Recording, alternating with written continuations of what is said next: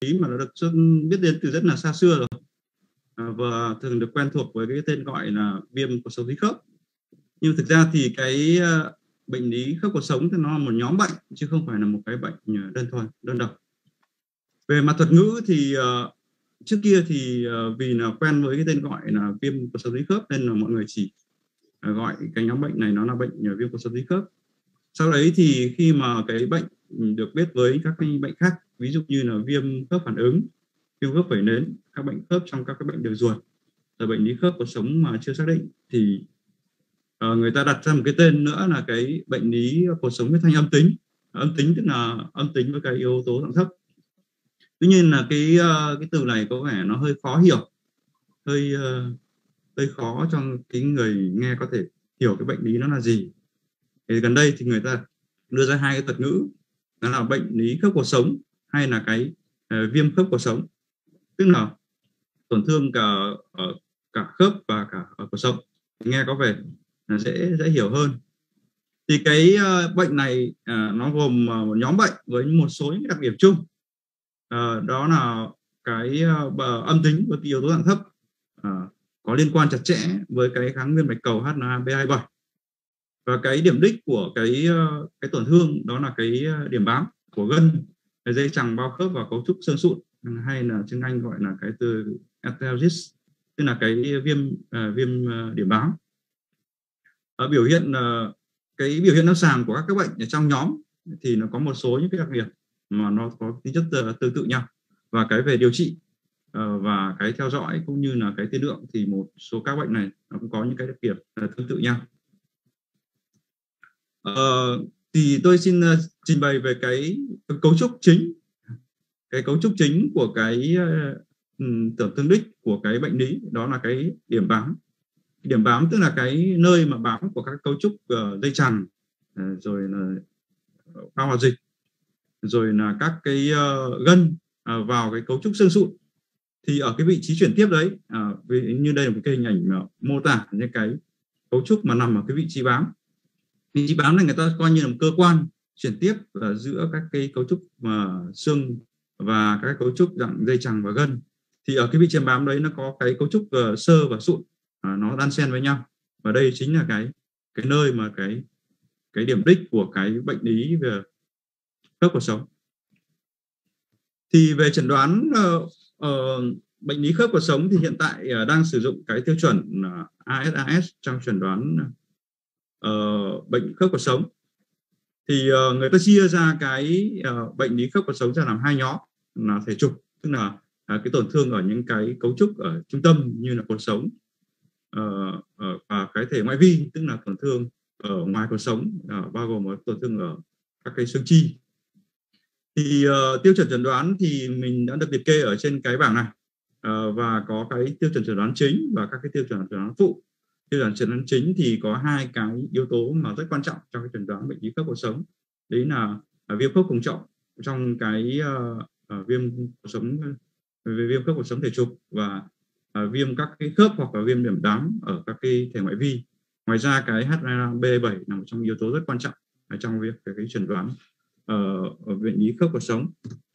Về tóm lại về cái tiêu chuẩn chẩn đoán thì mình có mấy cái nhận xét sau về cái tiêu chuẩn chẩn đoán thì thứ nhất đây là cái tiêu chuẩn chuẩn đoán kết hợp giữa các cái yếu tố lâm sàng và cận lâm sàng.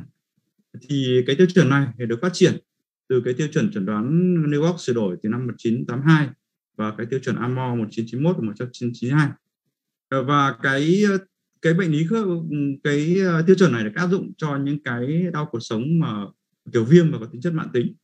Và đối với những cái tổn thương mà cấp tính thì chưa áp dụng trong cái việc chẩn đoán viêm cuộc sống lý khớp hay là viêm bệnh lý khớp cuộc sống mà kiểu đau phải à, kéo dài trên khoảng 3 tháng. Và áp dụng cho những cái đối tượng ừ,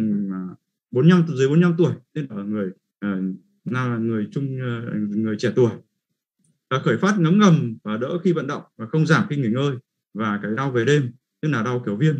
Thì đấy là những cái dấu hiệu mà lâm sàng mà nghĩ tới là cái bệnh lý về khớp cuộc sống.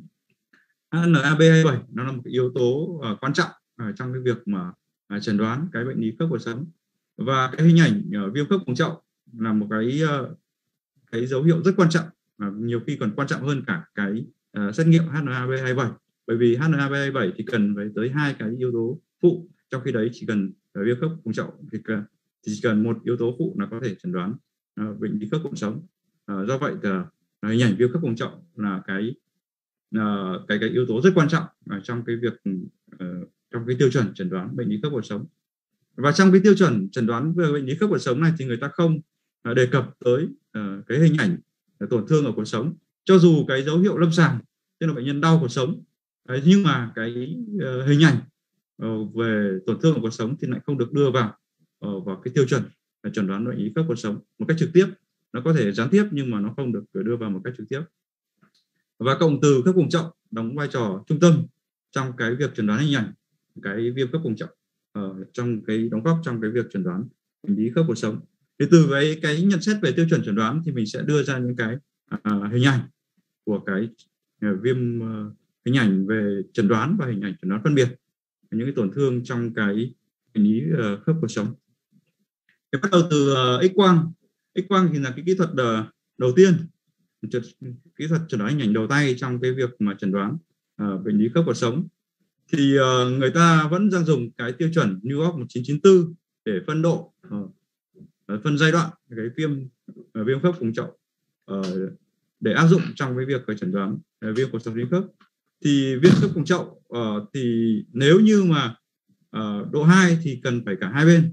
Và nếu như mà độ 3 trở lên độ 3 độ 4 thì một bên sẽ có giá trị trong cái việc mà chẩn đoán uh, viêm khớp uh, lý khớp cột sống ví dụ như à, về cái tiêu chuẩn chẩn đoán New York 194 thì người ta chia ra làm uh, 19 1984 người ta chia làm bốn giai đoạn. Nó giai đoạn 1 là các khớp rộng ra uh, do mất canxi dưới sụn. Uh, giai đoạn 2 thì là các khớp uh, không đều dạng răng cưa. Uh, giai đoạn 3 thì bắt đầu sơ hóa và hẹp một phần khớp. Giai đoạn 4 thì gì giai đoạn dưới khớp. Các cái hình ở bên trái thì mình minh họa uh, lần lượt những cái giai đoạn uh, của cái uh, uh, viêm khớp cùng chậu trên x quang thì với cái dấu hình ảnh A thì đó là cái hình ảnh mà khớp cùng chậu bình thường. Nhìn thấy cái khớp rõ và các cái bờ khớp đều. Thì đấy là cái hình ảnh uh, viêm khớp gây khớp cùng chậu bình thường. Còn cái hình ảnh ờ, B hình ảnh B với cái uh, giai đoạn 1 là ở các các các anh chị nhìn thấy nó có hai hai bên đều có cái dấu hiệu của cái hẹp các khớp. Nhưng mà ở bên uh, trái là ở giai đoạn 2 và và bên ờ, phải, là ở giai đoạn 1 và hình C nó là ở giai đoạn 3 hình C tức là hình dưới bên ờ, bên tay trái và hình D tức là hình dưới bên tay phải. Đó là ở giai đoạn 4 với cái dấu hiệu tính khớp. Thì đây là một cái hình ảnh nó nằm ở trong cái ờ, cái cái cái cái mẫu để đối chứng cho các anh anh chị có thể áp dụng vào trong cái thực tế lâm sàng trong việc đánh giá giai đoạn về viết khớp cuộc sống áp dụng trong cái việc chẩn đoán bệnh lý khớp cuộc sống. À, tuy nhiên thì uh, uh, cũng có cái uh, nhược điểm của cái chụp X quang đó là cái uh, việc cái cấu trúc các cái cấu trúc ở trong tiểu khung nó có thể chồng lên uh, cái khớp cùng chậu dẫn đến là uh, cái việc đánh giá khớp cùng chậu trên hình ảnh X quang đôi khi nó không được uh, chính xác. Uh, dẫn đến những cái uh, dấu hiệu mà dương tính và giảm và âm tính giảm. Ví dụ như là trong cái hình ảnh minh họa ở trên uh, với cái uh, khớp cùng chậu à, uh, chụp hai bên với bên phải trên này x quang là mờ hơn ở bên trái. Như vậy thì trên hình ảnh x quang mình có thể à, nghĩ tới là một cái viêm khớp cùng chậu ở bên phải ở giai đoạn à, A và bên trái thì có thể là coi như là bình thường. À, tuy nhiên thì khi bệnh nhân này được chụp cộng từ uh, với uh, khớp cùng chậu thì ta có thể thấy rằng là cái khớp cùng chậu ở bên phải nó hoàn toàn bình thường tức là trên x quang thì là đã chẩn đoán là dương tính giảm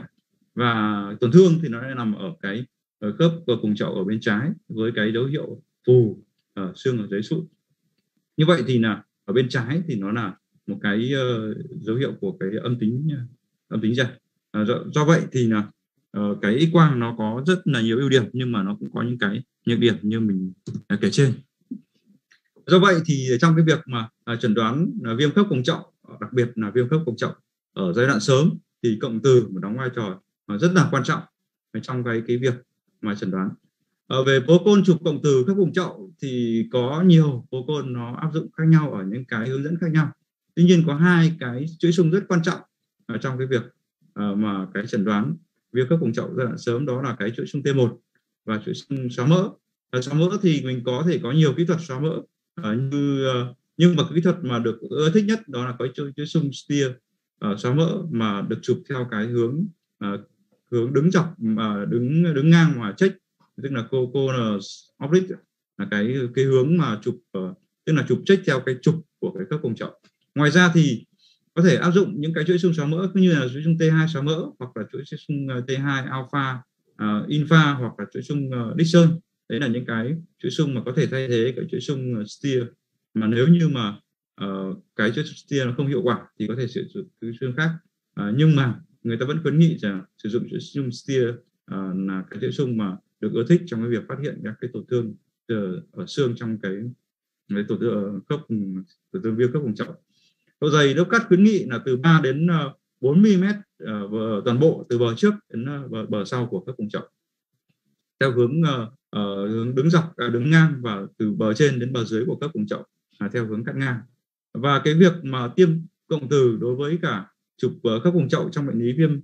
uh, uh, viêm, viêm khớp cuộc sống thì là không được uh, khuyến nghị một cách thường quy mà nó được à, áp dụng theo cái chỉ định từng trường hợp cá biệt chứ không là cái ờ, cái kỹ thuật thường quy. Thì trên hình ảnh ờ, cái ờ, hình ảnh cộng từ các vùng chậu thì người ta chia ra các là tổn thương giai đoạn cấp tính và các cái giai đoạn mạng tính. Giai đoạn cấp tính thì có các dấu hiệu như là chặt dịch khớp phủ tủy xương dưới sụn và phủ tổ chức phần mềm quanh, quanh khớp ngấm thuốc đối quang từ ở diện khớp và quanh khớp. Đấy là những cái dấu hiệu thể hiện tổn thương ở cấp tính trên cộng từ đối với tổn thương mạng tính thì có tổn thương mỡ hóa xương dưới sụn uh, hoặc là cạnh khớp uh, phì đại bao hòa dịch tiêu xương hoặc là đặc xương dưới sụn và dấu hiệu hẹp các khớp hoặc là dính khớp. Đấy là những cái dấu hiệu mà uh, ở giai đoạn mạng tính. À, thì xin uh, minh họa cái uh, hình ảnh cộng từ trong cái uh, viêm uh, viêm khớp trong trong cái viêm khớp uh, của cùng chậu trong bệnh lý khớp cuộc sống như là cái hình ảnh ờ, B và C đấy là cái hình ảnh mà thể hiện cái tổn thương ở phù ờ, cái phù xương ở trong cái hình ảnh B tức là chuỗi xương steer cắt theo hướng đứng dọc. Ta thấy là cái hình ảnh ở phù xương ta thấy hình ảnh phù xương ở cái xương chậu ở trên cái hình ảnh chuỗi xương này là chuỗi xương steer và chuỗi xương xá mỡ. Thấy phù xương ở cái uh, xương chậu ở bên trái uh, à, đây là cái chuỗi xương T1 mà có tiêm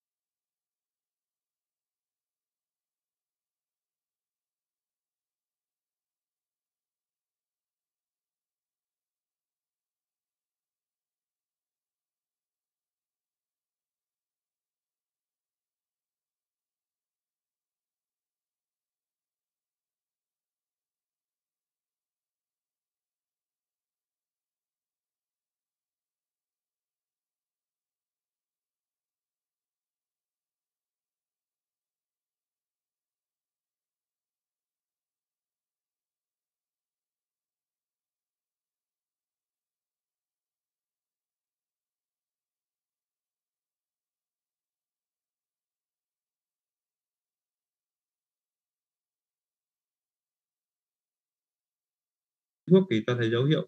uh, ngấm thuốc của cái vùng mà phù xương. Thì đây là cái dấu hiệu sớm của cái viêm khớp vùng chậu ở bên trái. Ờ, và cái ờ, giai đoạn bệnh nhân được diễn biến được theo dõi à, theo sau 2 năm đây là cái hình ảnh D đây là hình ảnh X quang ở giai đoạn đầu tiên ta có thể thấy là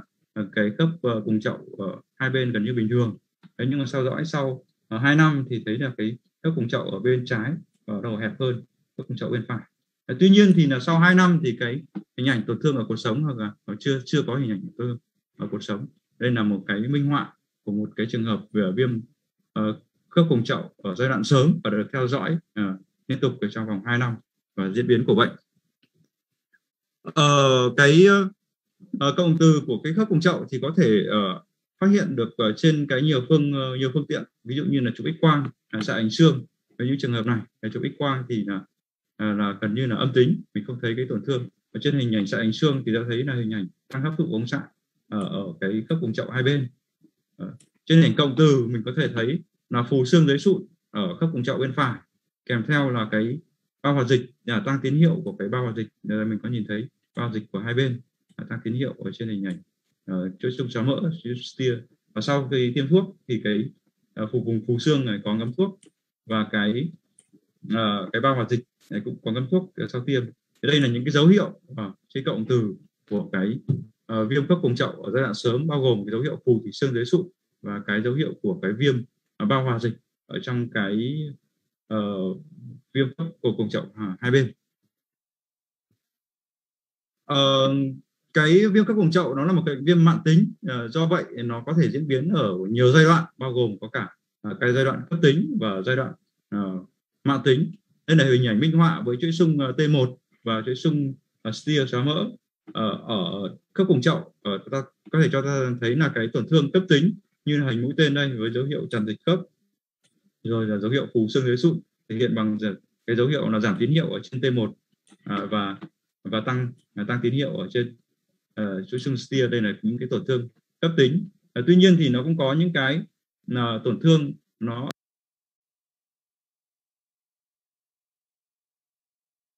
ở à, à, giai đoạn mãn tính.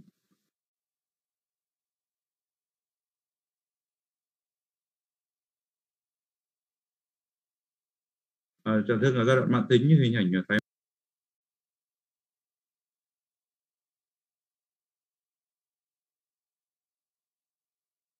hóa mỡ ở đây. Đây là hình ảnh.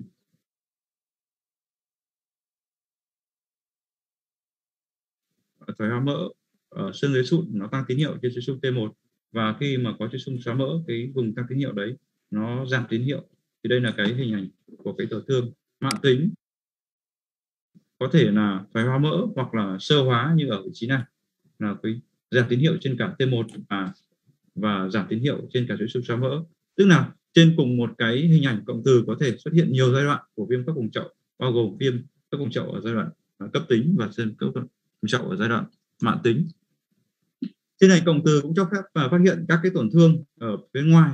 của cái khớp vùng chậu. Ví dụ như trên hình ảnh này ta có thể thấy là dấu hiệu à, phù nề dấu hiệu phù nề của cái phần mềm ở cạnh khớp vùng chậu hoặc là cái à, phù nề của cái bao bao khớp cái phù nề của bao khớp. À, hoặc là những tổn thương của cái điểm bám gân ở màu chậu hai bên. Tổn thương điểm bám gân của màu chậu hai bên à, tổn thương điểm bám gân ở phía phía sau ờ, của khớp vùng chậu hoặc là ờ, tăng tín hiệu của, của các cái cái uh, các cái uh, trong các tín hiệu của cái dây chằng ở phía phía sau khớp cùng chậu. Đấy là tổn thương ở phía ngoài khớp cùng chậu.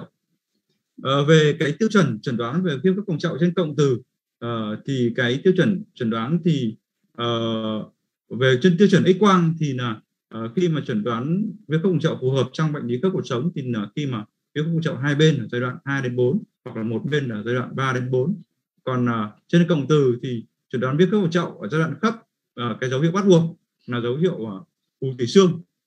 Uh, dấu hiệu uh, viêm màng hoạt dịch viêm bao khớp viêm điểm bám mà không có phù tủy xương thì là những dấu hiệu mà không chắc chắn. Chẩn đoán phù tủy xương thì sẽ dựa ở trên chuỗi xương uh, xóa mỡ là chuỗi xương uh, điển hình đó là chuỗi xương steer. Uh, và uh, cái tiêu chuẩn thế nào là phù thủy xương thì người ta sẽ đưa ra cái tiêu chuẩn là cái phù thủy xương đấy nó phải xuất hiện ở trên hai vị trí của một nấc cắt ví dụ như trên hình ảnh này cái vùng vù thì xương rất là nhỏ ở đây. Có được coi là cái tổn thương có ý nghĩa khi mà nó xuất hiện trên hai nấc cắt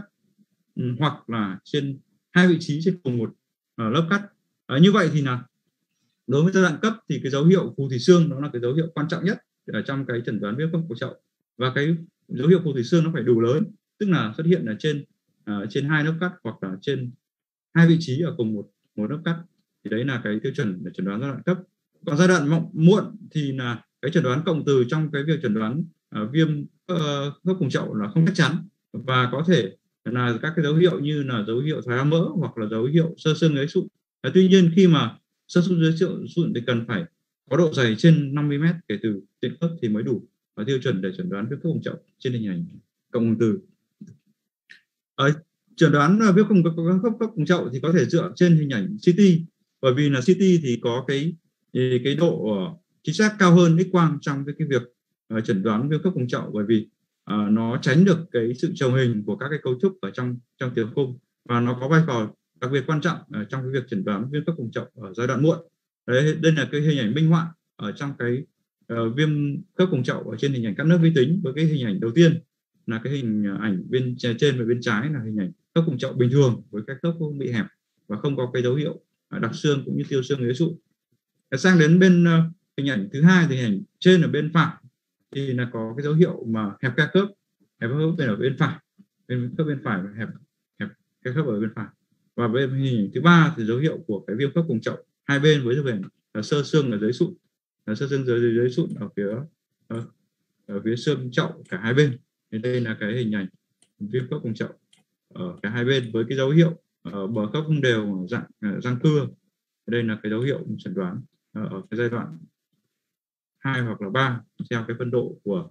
ờ, uh, chụp x quang. Và giai đoạn cuối cùng thì trên hình ảnh cộng uh, các lớp vi tính có thể thấy dấu hiệu của cái dính khớp cùng trọng. Thường khớp cùng trọng nó nằm ở vị trí này. Và trên hình ảnh các lớp vi tính thì là mình không quan sát được khe khớp và đây là cái dấu hiệu dính khớp cùng trọng trên hình ảnh à, cắt lớp vi tính.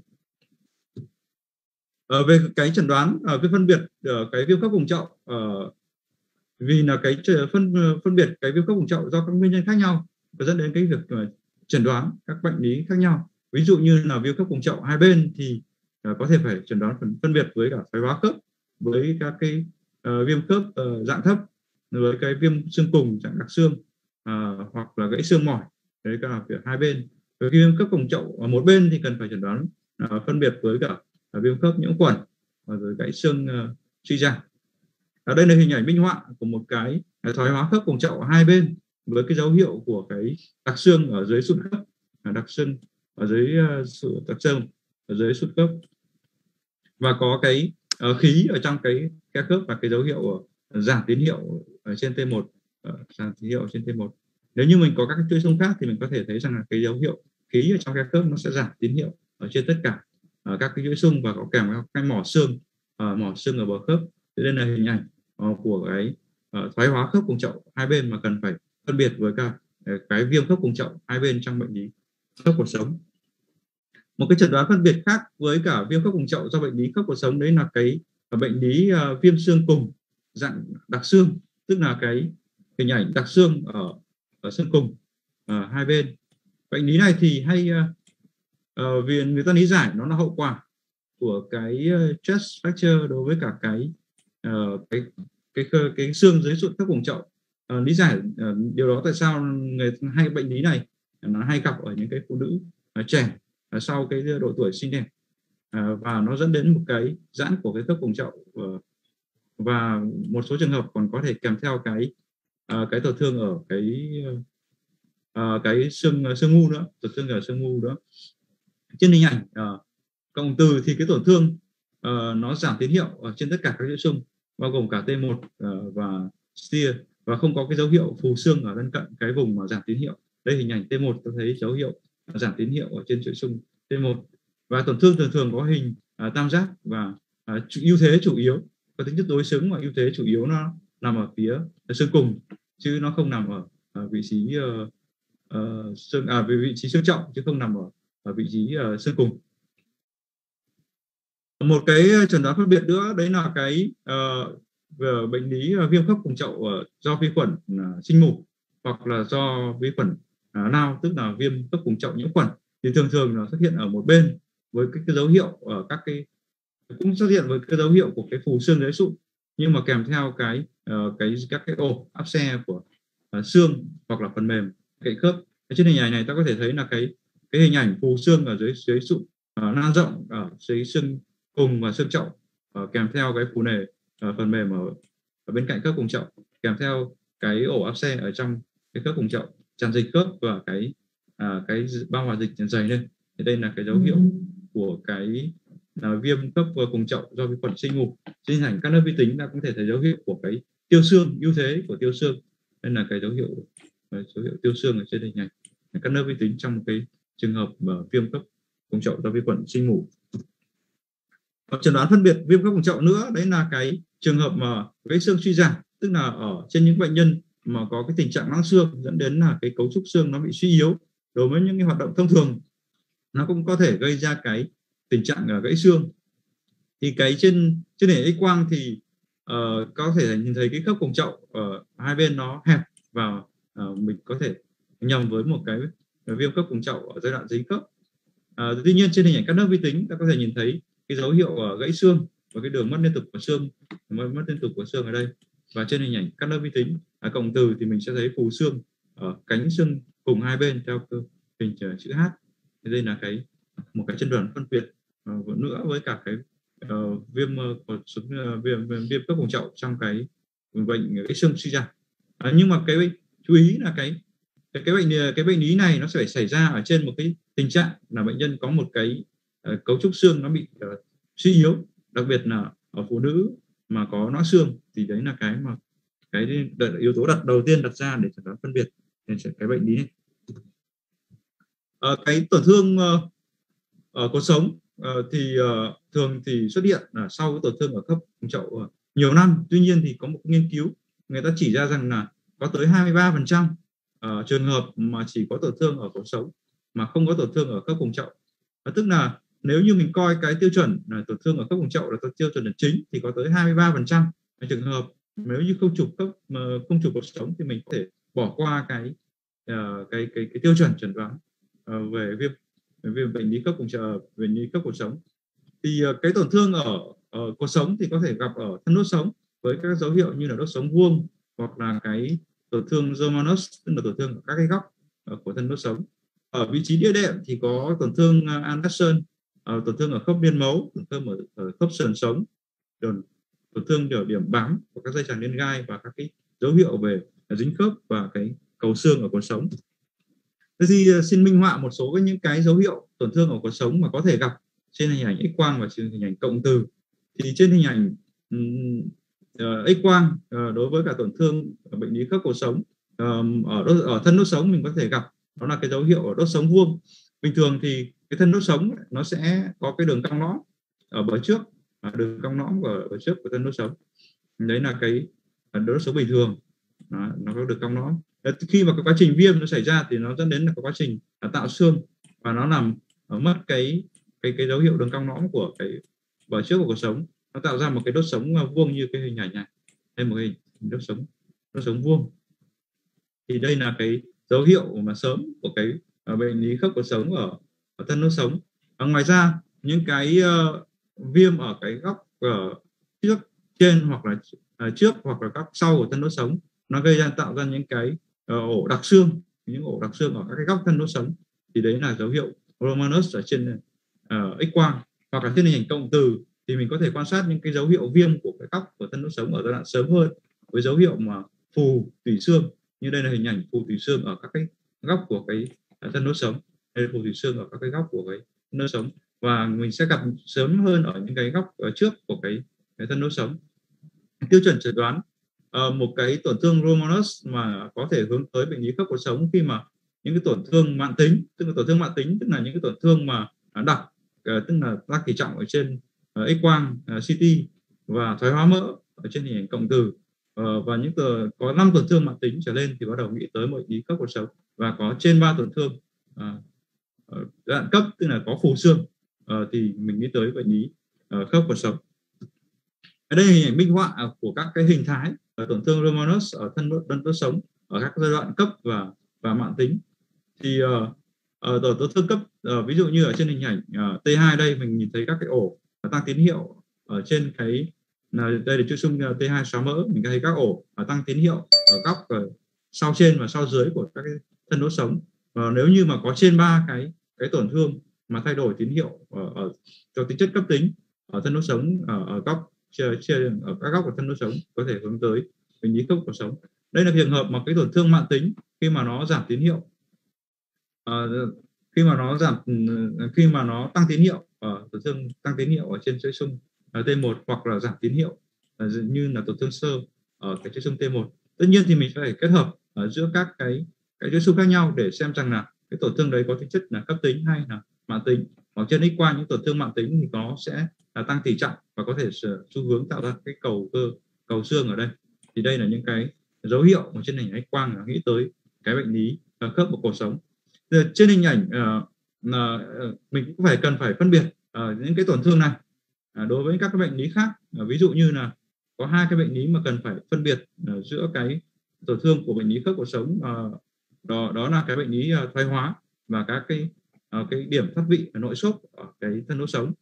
Thì đây là hình ảnh uh, minh họa một cái trường hợp thoái hóa khớp với cái dấu hiệu uh, hẹp khe khớp với tụ khí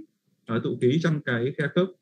Uh, kèm theo là các cái mỏ xương các mỏ xương. Uh, phân biệt giữa mỏ xương và cái uh, cái cầu xương. Cầu xương tức là một cái cấu trúc mà nằm theo có cái trục uh, nó trục nó nằm dọc theo cái trục của cuộc sống tức là nó gợi lại hình ảnh của cái dây chằng dọc trước ví dụ đây là cái hình ảnh là cầu xương. Còn cái mỏ xương tức là một cái cấu trúc mọc vuông góc với cả uh, vuông góc với cả cái bề mặt của thân đốt sống mọc ra ra ngoài. Thì đây là dấu hiệu của một cái cái cái cách để phân biệt giữa cái à, cầu xương và cái mỏ xương. Tức là là mỏ xương thì mọc vào vuông góc cả thân đốt sống còn cái à, cái mỏ cầu xương thì mọc song song với cả cái thân đốt sống. Đây là hình ảnh minh họa của trường hợp thoái hóa thoái hóa cuộc sống. Hoặc đây là trường hợp minh họa một những cái uh, những cái uh, các vị nội nội xốp hoặc người ta gọi là limbus vertebral là các vị nội xốp ở ở thân đốt sống ở bề mặt à, thân đốt sống hoặc ở các cái góc thân đốt sống. Nếu ở bề mặt thì do đĩa đệm uh, nó gây ra uh, phá nó gây ra vỡ cái uh, cái cái cái xương ở bản xương bản xương ở, ở thân đốt sống hoặc là cái thoát vị nội xốp thoát vị qua cái các cái viền xương của cái bờ uh, cái cái cái bờ viền xương của cái thân đốt sống thì nó tạo ra những cái mảnh xương mà à, rời ra khỏi thân đốt sống. Thì đây là những cái hình ảnh của cái cái thoát vị nội xúc ở, ở giữa thân đốt sống và ở các cái bờ của thân đốt sống. Có hình ảnh gần giống như là cái hình ảnh của cái tổn thương Romanus trong cái bệnh lý cấp cuộc sống. Ờ, về cái tổn thương Anderson thì là nó là tổn thương ở cái uh, xương dưới sụn khớp và cái khe khớp. Uh, đây là hình ảnh minh họa của cái trường hợp mà có cái tổn thương uh, bao gồm cả ở thân đốt sống và đĩa đệm. Uh, bệnh nhân này chụp x quang thì sẽ có dấu có hiệu cái dấu hiệu này có thể nghĩ tới tổn thương của cái tổn thương Somalus và cái tổn thương ở đây uh, với dấu hiệu hẹp khe khớp đặc xương dưới sụn đặc xương dưới sụn và tiêu xương dưới sụn. Đây là cái dấu hiệu của cái tổn thương Anderson ở trong cái viêm bệnh lý khớp cuộc sống. Trên hành cộng từ thì tổn thương cũng có tính chất tương tự với dấu hiệu hẹp các khớp với dấu hiệu là tiêu xương dưới sụn đặc xương dưới sụn và có kèm theo phù xương. À, kèm theo phù xương thì đây là à, dấu hiệu của, của cái tổn thương Anderson và ta chú ý rằng là à, xung quanh đốt sống thì sẽ không có những cái cấu trúc như là các cái ổ tụ dịch. À, không có dấu hiệu của cái ổ tụ dịch hay ổ nhiễm viêm ở, ở quanh quanh đốt sống hoặc ở trong khe khớp cũng có không có cái dấu hiệu của cái tụ dịch ở trong trong khe khớp. Chẩn đoán phân biệt tổn thương Anderson thì tất nhiên ta phải chẩn đoán cái uh, à, viêm cột sống đấy ạ viêm cột sống đĩa, đĩa đệm thì có hai hình thái là viêm đĩa đệm và viêm ờ, đốt sống và đĩa đệm. Viêm đĩa đệm thì thường thường gặp ở trẻ em và ờ, viêm uh, cột sống đĩa đệm tức là tổn thương cả thân đốt sống và đĩa đệm thì có có thể gặp ở mọi lứa tuổi. Thì uh, tổn thương trong cái viêm đĩa đệm thì nó thể hiện rằng một cái ổ áp xe ở trong cái ở vị trí trung tâm nó ở vị trí đĩa đệm. Đây là cái hình ảnh uh, viêm đĩa đệm. Một cái tổn thương chẩn đoán phân biệt nữa trong cái uh, cái tổn thương Anderson đó là cái tổn thương uh, thoái hóa mô đích. Thoái hóa mô đích một với dấu hiệu của cái hẹp các khớp có tụ khí ở trong à, tụ khí ở trong các khớp kèm theo phù xương và ngấm thuốc của xương dưới sụn khớp à, và không kèm theo các cái cái tổn thương phần mềm ở quanh ờ, ở quanh đốt sống. Thì đây là cái hình ảnh của một cái uh, phù xương ngấm thuốc tổn thương gần giống như tổn thương Anderson nhưng mà nó là cái tổn thương thoái hóa ở modic một.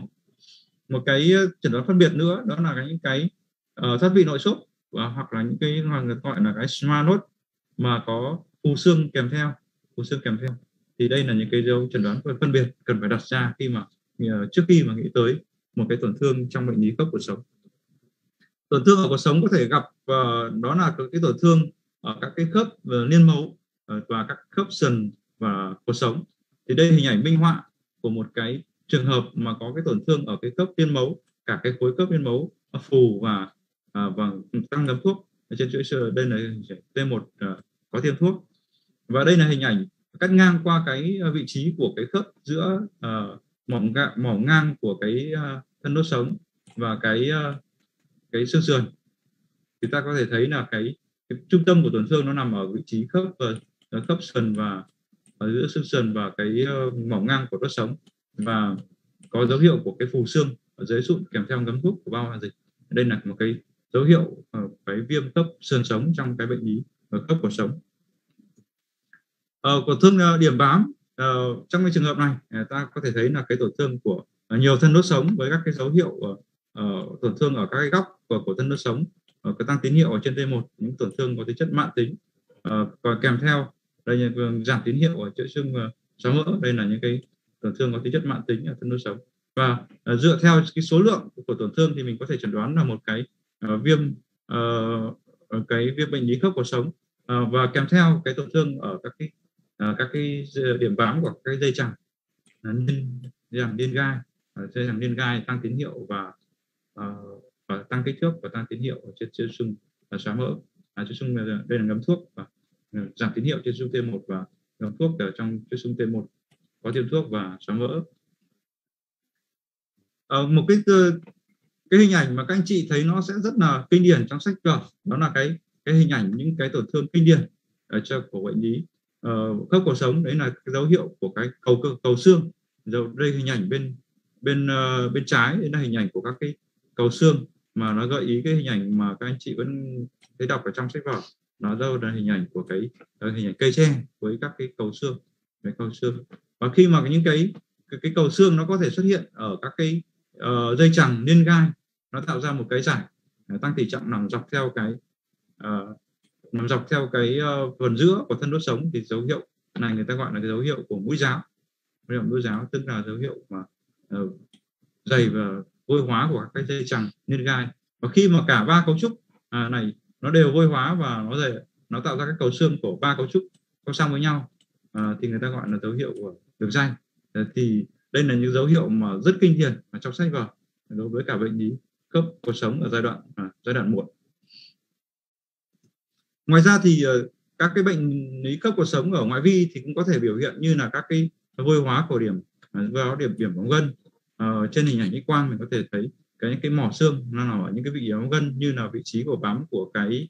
uh, cái ờ, gan chân cân cân gan chân hoặc là cái vị trí bám của cái gân asin là những cái vị trí mà vôi hóa điểm bám gân hay gặp. Trên hình ảnh này thì là hình x quang và hình ảnh cộng từ mình có thể thấy phù xương ở cái điểm bám uh, phù xương ở điểm bám của cái gân asin đây là dấu hiệu ở ngoài vi mình có thể gặp. Ngoài ra những ở những cái giai đoạn là muộn hơn thì mình có thể dấu hiệu uh, dính khớp. Uh, dấu hiệu dính khớp ở trong tất nhiên mình cũng phải chẩn đoán phân biệt với các bệnh lý khác. Tuy nhiên ở trong cái bệnh lý khớp cuộc sống mình hoàn toàn có thể gặp ờ, cái bệnh lý dấu dấu hiệu của cái dính khớp hoặc là dấu hiệu của tiêu khớp hình uh, hình bút chì ở trong cái bệnh ờ, lý uh, uh, viêm khớp uh, vẩy nến.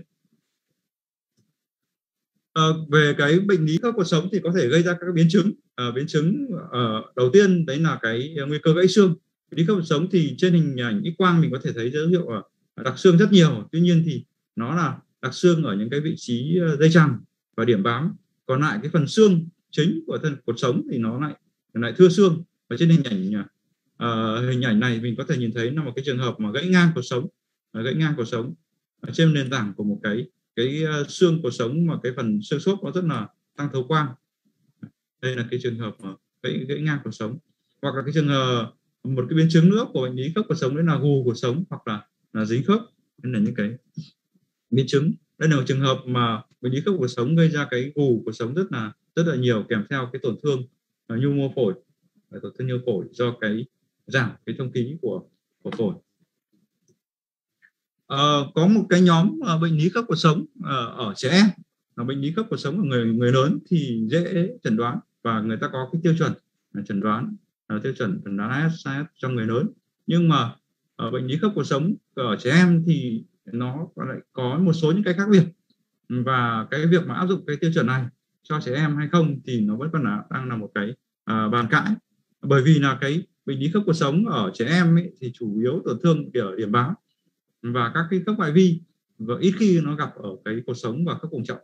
Ở cái tỷ lệ HLA-B27 dương tính ở trong cái bệnh lý khớp cuộc sống ở trẻ em thì lại thấp hơn so với cả cái uh, bệnh lý khớp cuộc sống nói chung. Và chẩn đoán x quang thì rất là hạn chế ờ, đối với cả ờ, cái,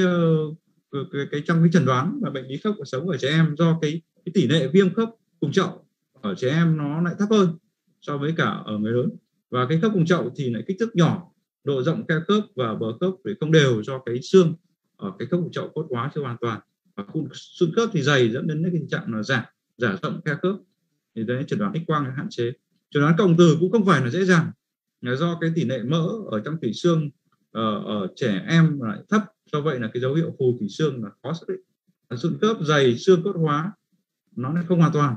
Và nhiều cấu trúc mạch máu ở, ở xung quanh ở cái khớp cùng chậu. Do vậy là cái đôi khi mình có thể nhầm cái dấu hiệu phù thủy xương với những cái, cái cấu trúc mà, mà mạch máu ở bên bên cạnh khớp. Và cái mức độ phù thủy xương trong viêm khớp cùng chậu ở trẻ em nó lại ít. Do vậy là cái độ nhạy trong cái việc phát hiện cái phù thủy xương nó lại thấp. Ở phù, phù thủy xương dưới sụn là cái dấu hiệu uh, uh, dấu hiệu rất quan trọng. À, người ta coi dấu hiệu đấy là dấu hiệu quan trọng nhất trong cái chẩn đoán viêm khớp cùng chậu ở trẻ em. À, tuy nhiên thì do những cái hạn chế ở trên nên người ta khuyến nghị rằng là nếu như mà đối với trẻ em thì việc tiêm thuốc đối khử đối quang tử sẽ làm cái tăng cái độ nhạy cũng như là là độ đặc hiệu ở trong việc chẩn đoán viêm khớp cùng chậu ở trẻ em. Và cái vì cái khớp cùng chậu của trẻ em nó nhỏ do vậy là người ta có cái xu hướng là hạ tiêu chuẩn chuẩn đoán phù thủy xương so với tiêu chuẩn uh, của người lớn. Ví dụ như người lớn thì người ta cần yêu cầu là phải hai vị trí phù thủy xương trên cùng một nấc cắt hoặc là thấy thấy cái vị trí phù thủy xương đấy tối thiểu trên hai nấc cắt thì đôi khi người ta chỉ, ở trẻ em người ta chỉ cần uh, một vị trí phù thủy xương và trên một nấc cắt thôi uh, người cũng đủ là đủ tiêu chuẩn để chuẩn đoán phù xương. Và đối với trẻ em thì cái xương có vai trò quan trọng ờ, bởi vì là cái tỷ lệ mà à, viêm điểm bám ở trẻ em nó cao hơn đối với cả viêm à, bệnh lý khớp cuộc sống của người lớn. Đặc biệt là đối với những cái vị trí như là vị trí điểm điểm bám của gân nasin hay là về vân bánh chè. Về một cái à, một cái hướng dẫn trong việc sử dụng cái các cái hình ảnh để trong chẩn đoán bệnh lý khớp cuộc sống ở trong áp dụng cho các bác sĩ lâm sàng,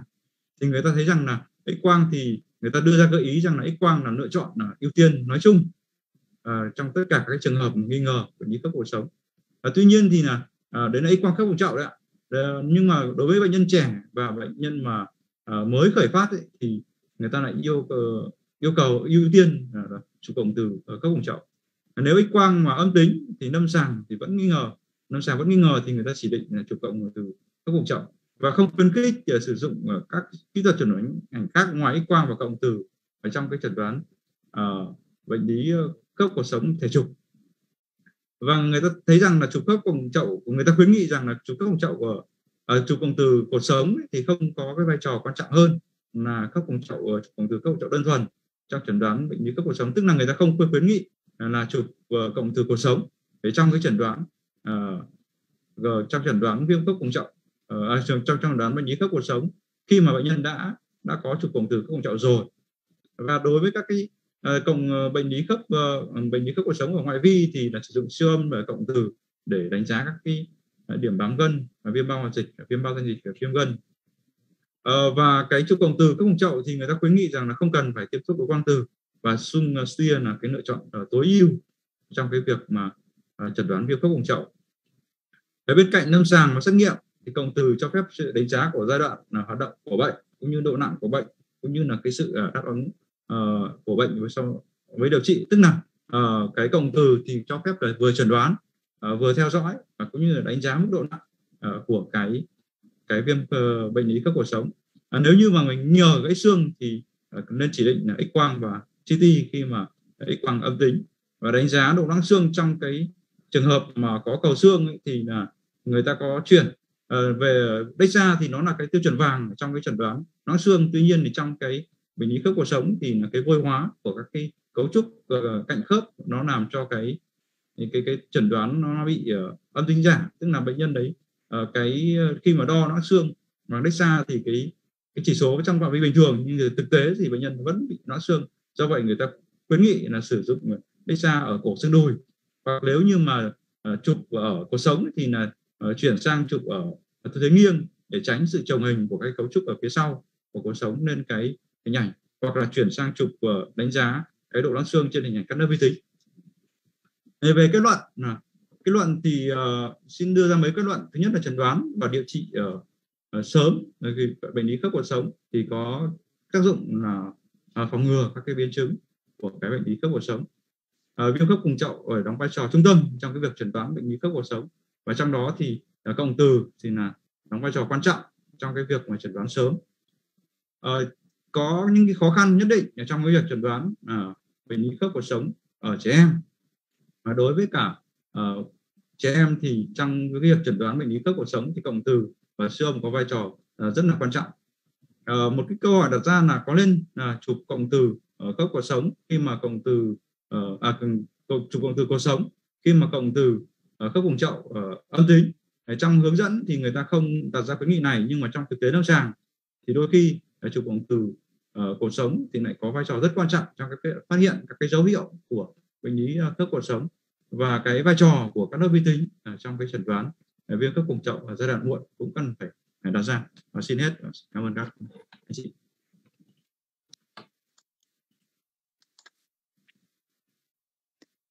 À, vâng, xin cảm ơn tiến sĩ Phạm Mạnh Cường với bài giảng chuyên sâu về khớp cột sống. À, và tiếp theo chương trình thì chúng ta sẽ đến với phần giới thiệu về công nghệ CT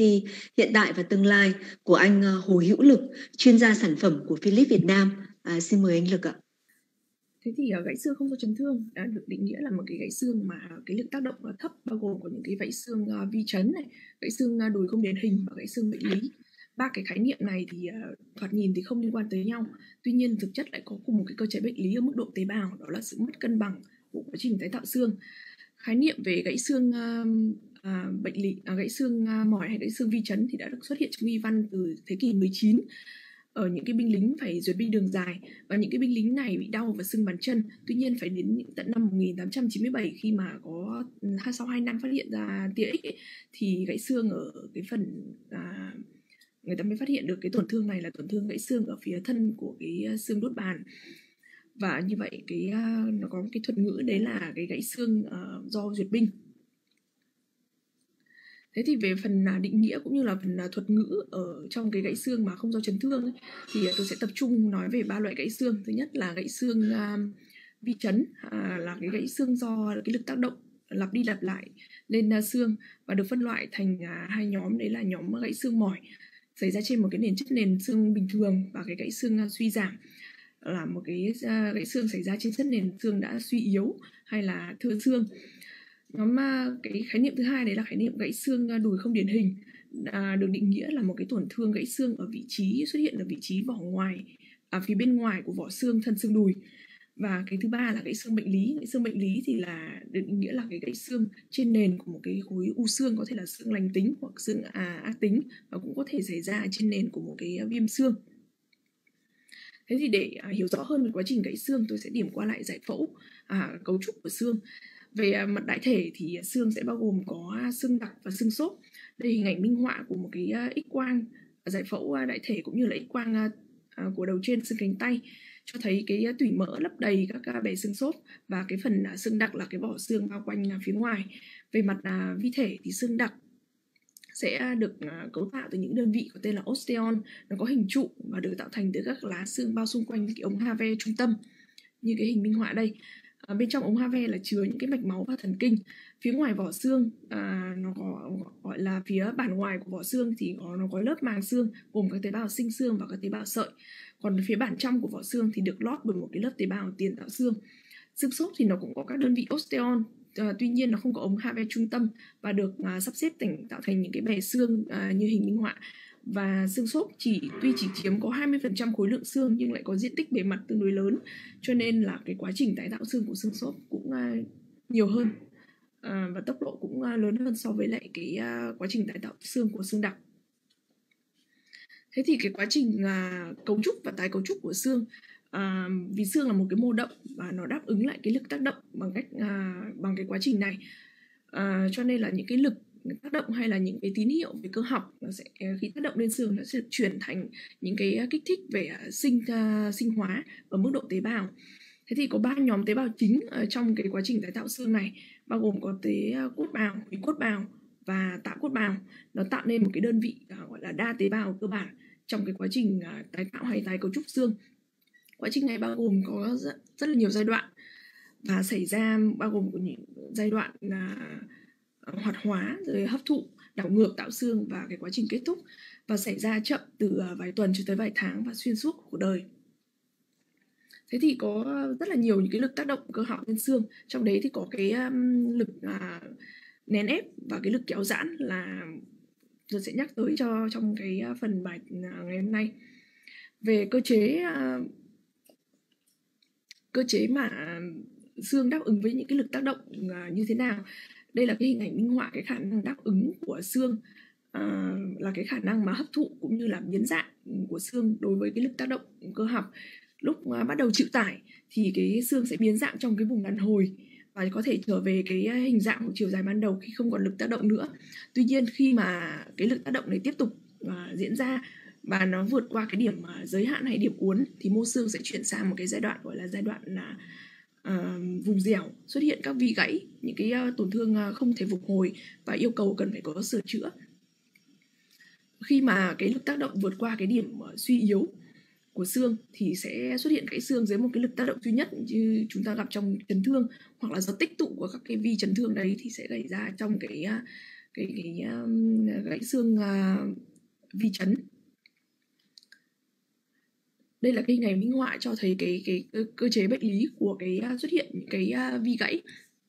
Đầu tiên sẽ xuất hiện những cái vi gãy ở uh, trên vỏ xương sau đấy là sẽ có cái quá trình uh, tạo ra những cái hốc à, gọi là hấp hấp thụ được hoạt hóa bởi cái tế bào à, hủy xương. Và thứ ba là sau đấy là sẽ có những cái xương mới à, nó lắng động vào trong những cái hốc này. À, cái quá trình diễn ra ở xương đặc cũng à, cái quá trình cái cơ chế này nó cũng giống như ở xương sốt tuy nhiên ở cái vỏ xương thì sẽ có thêm cái à, phản ứng màng xương ở phía ngoài. Trên đây là cái cái về cái cơ chế bệnh lý của trong cái cái những cái xương không do chấn thương thế thì tôi sẽ đi qua nói cụ thể tiếp theo về những cái cái, cái ờ, gãy xương uh, vi chấn hay gãy xương mỏi. Thì gãy xương mỏi là hậu quả của sự tích tụ của các cái lực tác động lặp đi lặp lại lên mô xương và nó vượt quá cái khả năng uh, tái tạo của mô xương. Cái uh, gãy xương uh, vi chấn hay gãy xương mỏi này thường gặp ở bệnh nhân trẻ ưa hoạt động hay là những cái vận động viên.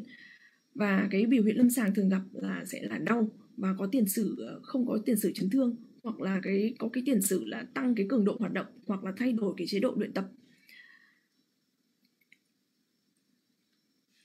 Cái uh, nguyên nhân mà gây ra cái um,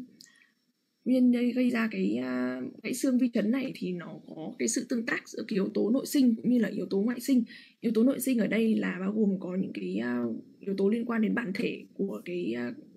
như là giới tính này, hormone, chất lượng xương, sức bền của cơ cũng như là cái hình dáng uh, cái yếu tố à, bên ngoài thì có thể là cái uh, bao gồm cái chế độ luyện tập cũng như là những cái yếu tố uh, dụng cụ uh, luyện tập liên quan. Thế thì người ta nhận thấy là cái gãy xương mỏi này hay gặp ở nữ giới uh, những người có mật độ xương thấp hay là có những cái rối loạn về uh, dinh dưỡng đặc biệt là những cái vận động viên uh, nữ nó có cái gọi là tam chứng ở ờ, vận động viên nữ bao gồm có cái rối loạn về ăn uống này có mất kinh và có tình trạng loãng xương nó sẽ uh, hay gặp ở những cái bệnh nhân như vậy hoặc là những cái bệnh nhân có cái um, à có những um, người chạy đường dài hoặc là có những cái thay đổi về chế độ luyện tập cũng như là có những cái dụng cụ không phù hợp. Vị trí hay gặp của cái gãy xương mỏi uh, gặp nhiều nhất là những cái xương chịu lực là phần uh, chi dưới. Và trong cái gãy xương mỏi người ta chia ra hai nhóm đấy là nhóm gãy xương có nguy cơ thấp và nhóm gãy xương ở những cái vị trí có nguy cơ thấp và những cái vị trí có nguy cơ cao. Thế thì nhóm nhóm mà nguy cơ thấp đấy là chịu là những cái vị trí mà chịu những cái lực là lực nén ép. Như là xương gót hay là ngành xương mu hay là xương uh, cùng. Thế còn uh, nhóm mà có um, cái xương có nguy cơ cao ấy là những cái nhóm mà nếu mà xảy ra gãy ở những cái vị trí này thì sẽ tiến triển tới những cái gãy xương uh, hoàn toàn hoặc có thể di lệch hoặc là không liền. Những cái vị trí này chịu cái lực gọi là lực uh, kéo giãn và thường ở những cái vị trí cũng có ừ, nghèo mạch máu nghèo cái mạch máu nuôi dưỡng thường hay gặp ở vị trí là uh, cổ xương đùi ở phía trên ngoài hay là những uh, phía um, vỏ xương chày nhưng mà phía ở phía trước hoặc là những cái xương đốt bàn xương à, uh, vừng của cái uh, xương uh, của ngón cái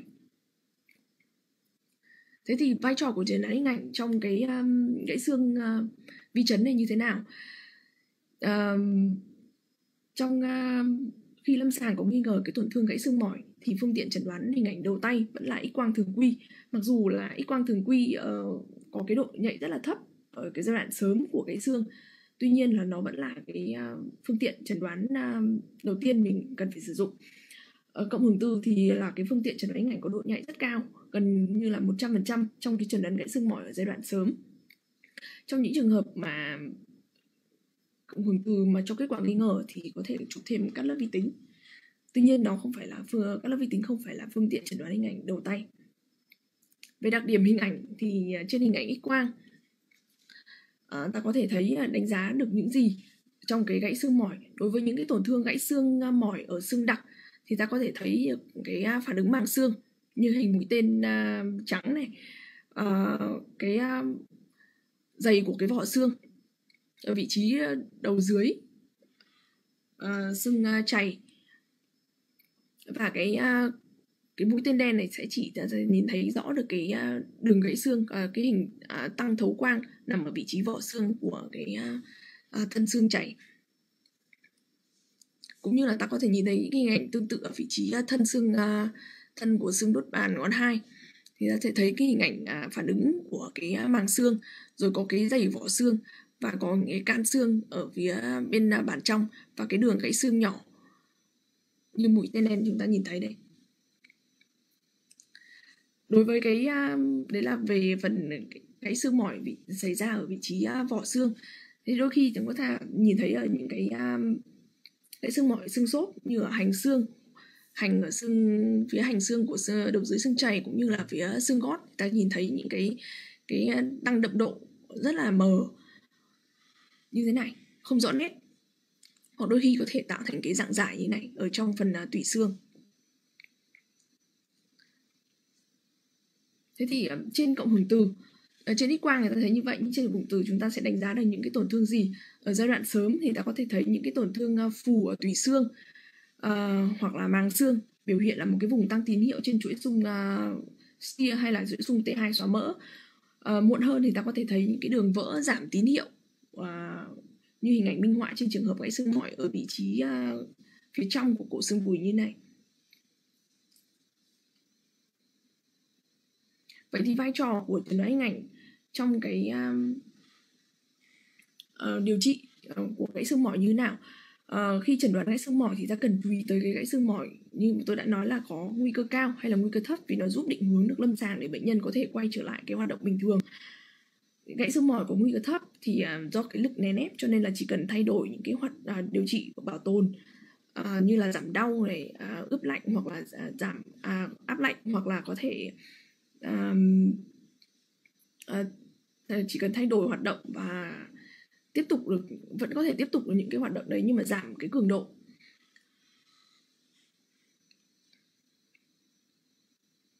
Thế còn cái nhóm mà có nguy cơ cao là những cái nhóm mà gãy xương uh, do cái lực kéo giãn ở những cái vùng mà xương uh, uh, không giàu mạch nuôi dưỡng kém thì về mặt điều trị chúng ta sẽ phải uh, vì vì vì nó có thể dẫn tới cái nguy cơ là gãy uh, hoàn toàn này chậm liền xương hoặc tiền à, chậm liền xương. Thì do đó trong trường hợp này chúng ta phải điều trị à, tích cực tức là phải nghỉ hẳn cái hoạt động thể thao. Và đôi khi có thể can thiệp bằng uh, phẫu thuật. Đây là hình ảnh minh họa của cái bệnh nhân uh, nữ 33 tuổi có cái gãy của cái, cái phần phía chịu lực uh, kéo giãn của cái cổ xương đùi. Bệnh nhân này không tuân thủ cái phương pháp điều trị cho nên là tiến triển thành cái gãy xương hoàn toàn.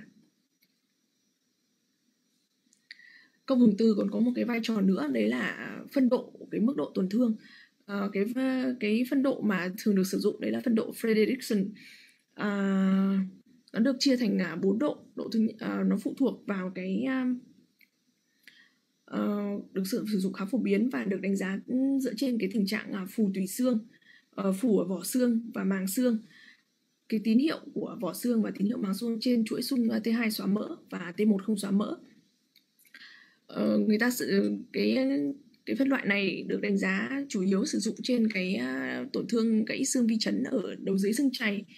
Tuy nhiên là nó cũng có thể áp dụng ở những cái vị trí uh, khác. Độ 1 thì là chỉ có phản ứng ở uh, màng xương phủ ở màng xương. Và cái độ um, cái mức độ càng nặng ấy thì cái khả năng mà quay trở lại uh, hoạt động bình thường sẽ càng càng lâu hơn. Cái thời gian quay trở lại là sẽ lâu hơn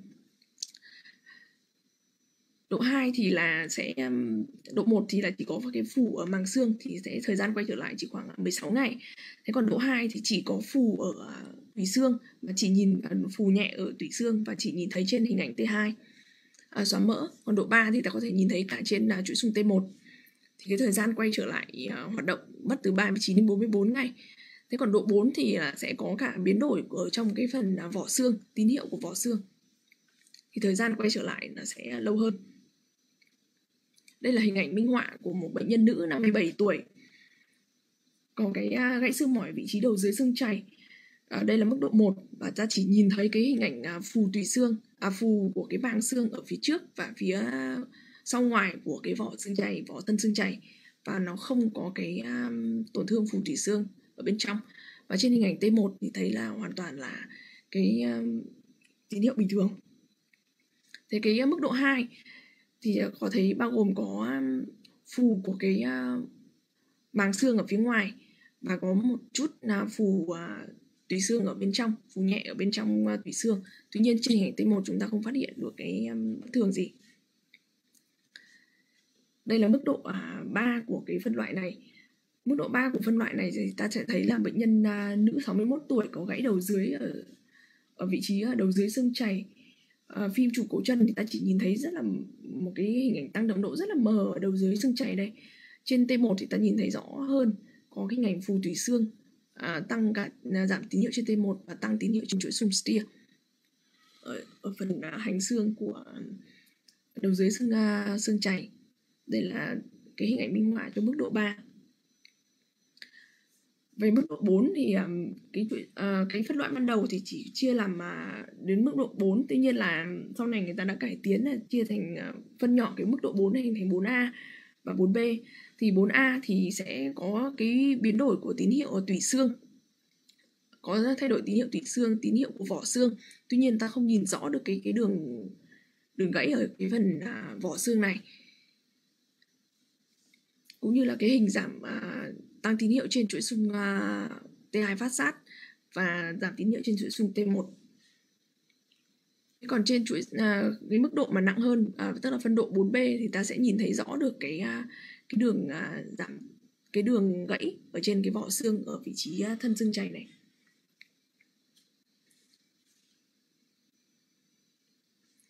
Tôi sẽ chuyển tới cái phần cái cái dạng à, gãy à, không chấn thương tiếp theo. Đấy là gãy xương à, đùi không điển hình. Cái gãy xương đùi không điển hình tại sao lại được đưa vào cái phần hôm nay? Bởi vì người ta nhận thấy ở những cái bệnh nhân mà điều trị có điều trị loãng xương kéo dài thì lại hay gặp những cái tổn thương gãy xương này. Ờ, gãy xương này được định nghĩa là một cái đường gãy đi ngang, xuất phát từ cái cái vỏ xương ở phía bên ngoài của xương đùi đây là một dạng của một cái gãy xương uh, suy giảm. Và những cái bệnh nhân mà ngoài những cái bệnh nhân mà có cái um, điều trị uh, thuốc uh, loãng xương kéo dài điều trị uh, chống loãng xương kéo dài thì còn gặp ở những cái bệnh nhân có những cái bất thường về cái hình thái của chi như là cái chân vòng kiềng này hay là tăng cái góc uh, giữa xương chảy với xương đùi lên. Bệnh nhân thường biểu hiện bởi một cái lâm sàng là đau vùng đùi hoặc là vùng bẹn à, chính vì là cái cái tần suất à, cái cái um, cái cái uh, gia tăng cái tỷ lệ mà gặp cái gãy xương uh, đùi không điển hình ở những cái bệnh nhân mà điều trị loãng xương ấy. cho nên là cái hiệp hội uh, uh, xương và khoáng nghiên cứu về xương và khoáng của Mỹ thì người ta đã ngồi lại với nhau năm 2013 và đưa ra cái cái định nghĩa rất là rõ ràng về cái loại gãy xương này và đưa ra cái ba tiêu chuẩn thứ nhất là về vị trí nó phải xảy ra ở nó sẽ gặp ở phần thân của xương đùi nằm dưới cái mấu chuyển bé và phía trên của cái lồi cầu đùi. À, có 5 tiêu chuẩn chính. Ở trong đó thì có bốn à, chỉ cần đạt trong 4 trong năm tiêu chuẩn này. Thứ nhất là nó xảy ra không do chấn thương thứ hai là nó cái đường gãy xương nó phải đi ngang xuất phát từ cái vỏ phía ngoài. Và cái vỏ xương nằm ở phía ngoài của xương đùi. Và thứ hai là nó không có sự di lệch à, không không có à, mảnh rời. Và thứ ba à cuối cùng đấy là phải có cái hình ảnh, hình ảnh dày của cái vỏ xương. Có thể là dày ở phía ngoài cái bản à, bản ngoài của vỏ xương hoặc là dày ở bản trong của cái vỏ xương và tạo thành hình một cái giống như là cái mỏ chim.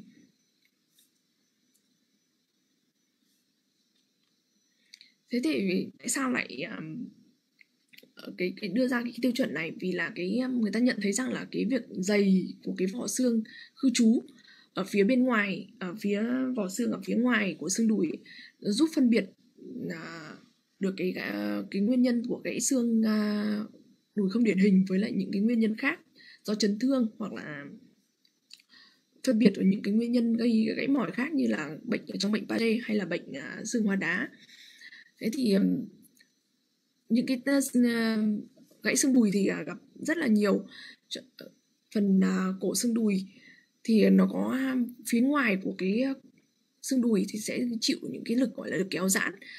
giống như là là những cái gãy xương có nguy cơ cao. Thế còn à, xảy ra phía bên trong phía mặt phía bên trong của cái xương đùi thì là những cái gãy xương mà gặp ừ, là dưới sức tác động của cái gọi là lực nén ép thì là sẽ có nguy cơ thấp. Giống như là uh, cái gãy xương uh, vi chấn uh, phần trước tôi đã nhắc à, tôi đã nói thì là gãy xương mà nằm ở phía bên ngoài này chịu lực tác động à, kéo giãn thì sẽ có nguy cơ là sẽ um, xảy ra cái gãy xương mà uh, hoàn toàn và sẽ có thể gây di lệch và điều cần và, và cần phải điều trị bằng uh, phẫu thuật.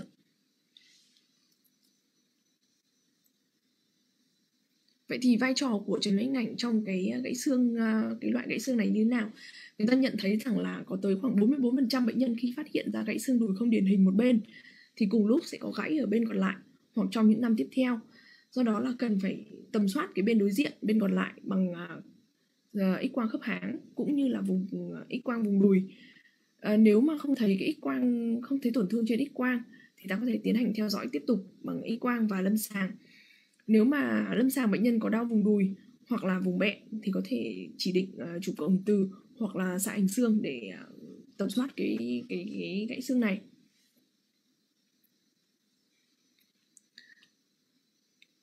Đây là cái hình ảnh minh họa của một bệnh nhân uh, nữ 58 tuổi đau khớp háng và điều trị bisphosphonat. Uh, đây là một cái, cái gãy xương đùi không điển hình và không hoàn toàn ở vị trí uh,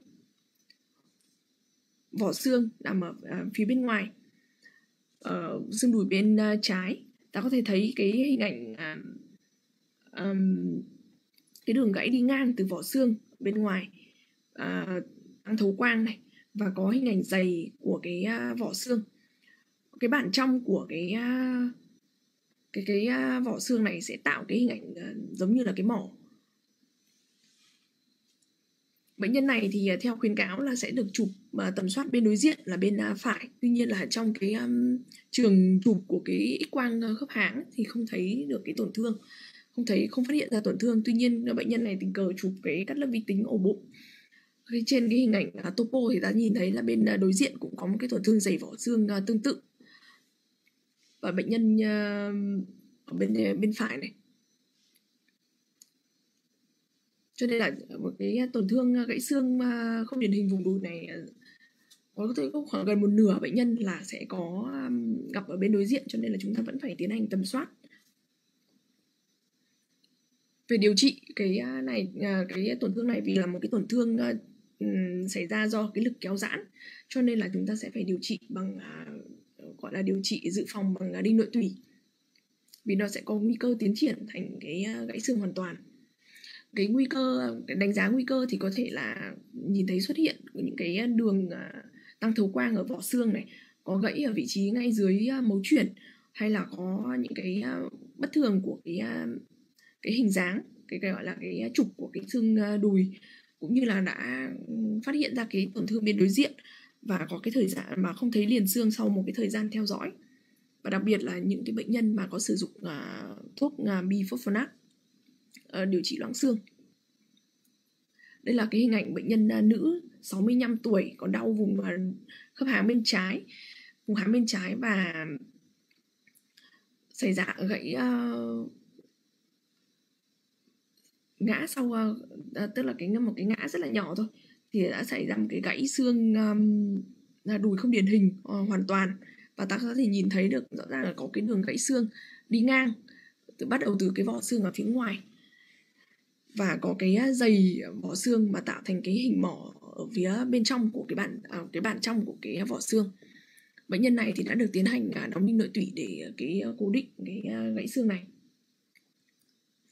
Đây là một hình minh họa khác của bệnh nhân nam à, bệnh nhân nữ 68 tuổi có điều trị à, bifosfonat nhiều năm. Và bệnh nhân này có đau cái vùng đùi bên phải. À, bệnh nhân này được chỉ định chụp x quang khớp háng à, x quang khớp háng cũng như là x quang vùng đùi để à, loại trừ cái tổn thương gãy xương à, đùi không điển hình. Và khi mà chụp ấy thì người ta nhìn thấy là có cái um, hình ảnh dày vỏ xương khu trú ở phía ngoài à phía vỏ xương ở phía bên ngoài. Và à, chụp tầm soát bên đối diện cũng có thấy cái tổn thương à, tương tự. Bệnh nhân này cũng được tiến hành chụp xạ hình xương và khẳng định được cái tổn thương vùng đùi xương thân xương đùi hai bên vỏ xương và chụp uh, các đơn vi tính thì ta thấy rõ hơn được cái hình ảnh dày vỏ xương mà tạo thành cái mỏ như thế này. Tiếp theo là tôi sẽ nói đến cái ờ, tổn thương ờ, gãy xương bệnh lý. Gãy xương bệnh lý thì là những cái gãy xương được định nghĩa là do sự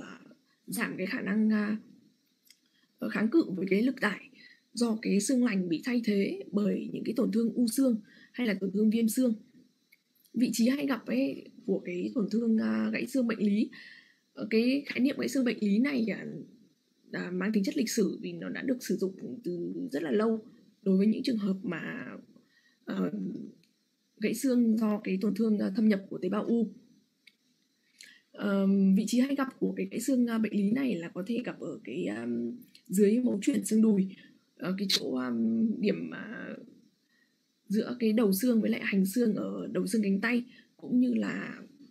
uh, xương uh, đốt sống trong khi đó thì những cái vị trí mà uh, gãy xương vi chấn ấy, thì thường uh, gặp những cái vị trí chịu lực hoặc là những cái vị trí liên quan rất là nhiều đến những cái hoạt động thể thao. Uh, chịu lực như là phía phần uh, xương uh, xương uh, chi dưới như là xương đùi xương chày rồi uh, xương uh, bàn chân xương đốt bàn hay là những cái xương vừng ở phần uh, uh, ngón cái đây là một cái hình ảnh minh họa của cái bệnh nhân uh, nam 59 tuổi đau cái uh, khớp háng bên trái có tiền sử là bị u hắc tố. Và ta nhìn thấy được cái tổn thương um, gãy đứt giật ở cái vị trí của cái mấu chuyển bé uh, xương đùi. Thế thì trên hình ảnh x quang thì chúng ta chỉ thấy được cái tổn thương gãy xương và rất là khó xác định được có cái tổn thương u xương hay không. À, thì bệnh nhân này được chụp cắt lớp vi tính cho thấy rằng là có cái tổn thương uh, tiêu xương của cái uh, do cái di căn của cái uh, u hắc tố vào cái vị trí này và gây ra cái tình trạng à, gãy xương bệnh lý. Thế thì cái uh, chẩn đoán hình ảnh có vai trò gì? Uh, về mặt uh, hình ảnh cộng uh, ngoài những cái cái đặc điểm mà uh, gợi ý những cái tình trạng uh, gọi là chẩn đoán u xương như là cái phản ứng mang xương uh, rất là phản ứng mang xương này rồi có những cái hủy phá hủy vỏ xương rồi có những cái à, phồng vỏ xương hay là những cái à, khối phần mềm lân cận. Thì à, một cái đặc điểm mà có thể giúp phân biệt được cái tổn thương gãy xương bệnh lý với lại gãy xương do vi chấn đấy là cái hình ảnh tín hiệu của tủy xương trên chuỗi xương T1 chuỗi xương T1 thì trong cái gãy xương mà vi chấn ấy, thì thường là có cái tình trạng phù cấp hoặc là chảy máu ở trong cái tủy xương. Cho nên là đôi khi là cái bờ của cái vùng à, uh, cái bờ uh, của cái vùng uh, giảm tín hiệu nó sẽ không rõ ràng và có thể thay thế bởi à, tức là có thể sẽ lẫn được những cái vùng à, tủy xương bình thường. Trong khi đó thì à, đối với cái à, gãy xương mà do u xương thì cái tế bào u đã thay thế hoàn toàn cái tủy xương bình thường rồi cho nên là cái vùng chuyển tiếp tương đối rõ ràng. Và một đặc điểm thứ hai nữa mà giúp phân biệt được cái gãy xương vi chấn với lại gãy xương bệnh lý gãy xương do u đấy thì um, đấy là do có xuất hiện hay không cái cái à, gãy cái đường gãy xương. Trên cái à, hình ảnh gãy xương uh, do vi chấn thì ta sẽ có thể nhìn rõ được cái uh, cái đường gãy giảm tín hiệu.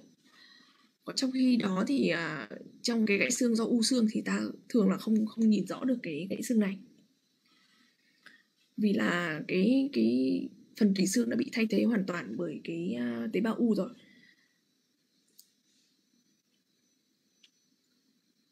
Đây là một cái bảng à, tóm tắt à, tất cả những cái triệu chứng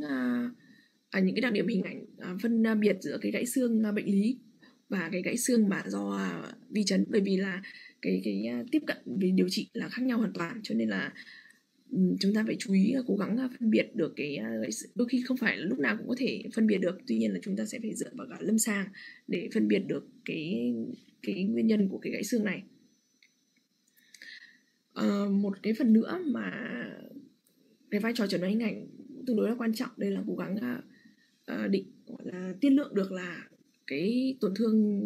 xương bệnh lý đấy có thể tiến triển thành gãy xương bệnh lý hay không? Thì uh, người ta sử dụng cái thang điểm gọi là Mirels.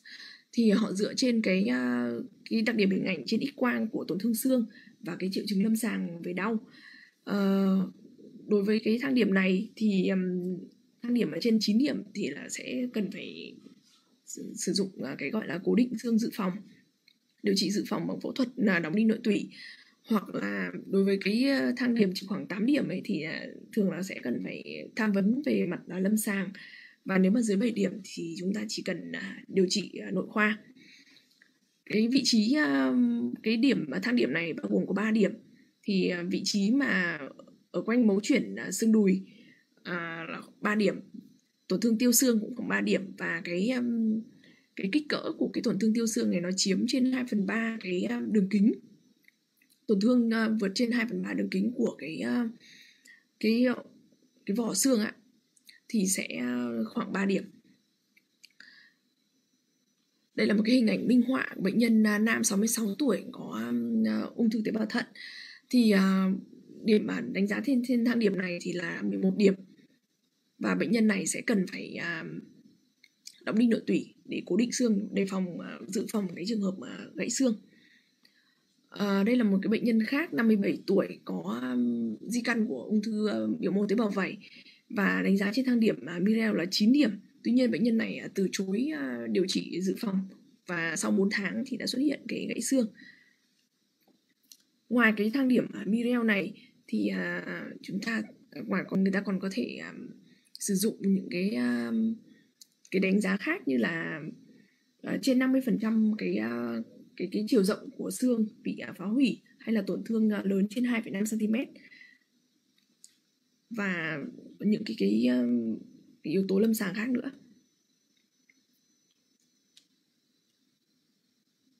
Trên đây thì à, tôi đã trình bày về cái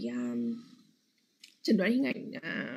cái xương mà không do chấn thương bao gồm có ba cái khái niệm chính đấy là cái xương mỏi cái xương không điển hình ở phần xương đùi và gãy xương uh, bệnh lý do cái u, uh, sự xâm lấn của u xương. Đấy thì uh, mặc mặc dù là ba cái ờ, cái hình thái gãy xương không do chấn thương này có thể là uh, không liên quan đến nhau tức là thoạt nhìn thì không liên quan đến nhau. Tuy nhiên là về mặt là bản chất là tế bào thì nó vẫn là à, có sự à, gọi là mất cân bằng về cái quá trình à, tái tạo xương. Và chúng ta sẽ phải à, cố gắng là chú ý đến cái phân loại về à, cộng hưởng từ cho cái gãy xương vi chấn. À, thứ hai là chú ý đến cái vị trí của gãy xương à, cái nhóm nguy thấp hoặc là nhóm nguy cơ cao để về nó tiên lượng cho cái à, điều trị trên lâm sàng. Và đối với cái gãy xương mà không do à, gãy xương đùi không điển hình thì chúng ta sẽ cố gắng tầm soát bên đối diện. Bởi vì là nó sẽ có nguy cơ gãy xương à, sẽ gặp ở xương bên đối diện khoảng à, 44% và gãy xương mà do bệnh lý thì chúng ta sẽ cố gắng ờ, khi mà phát hiện ra những cái tổn thương mà u xương uh, hay là những cái viêm xương chẳng hạn thì ờ, sẽ cố gắng là tiên lượng được là cái tổn thương này có gãy xương có dẫn tới gãy xương hay không để tiên lượng cho điều trị xin chân thành cảm ơn ạ